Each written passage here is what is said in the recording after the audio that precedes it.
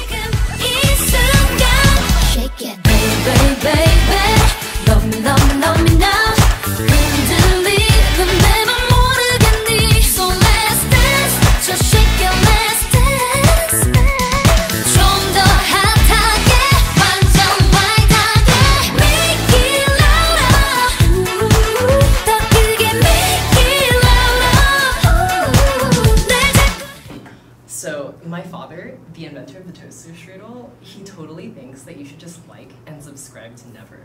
So definitely do that. Just letting you know, we don't do this very often, so it's really a big deal. But if you want to support us, you can join our Patreon, and you can come sit with us and our Patreon supporters on Wednesdays. Mm -hmm. Save me.